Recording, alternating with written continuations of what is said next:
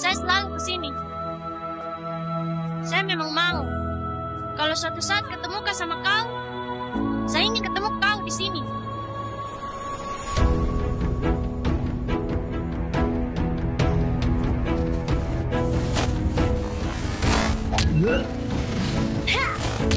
Semenjak meninggal mamaku, tidak sekolah mak SMA 10, tinggal mak di sini.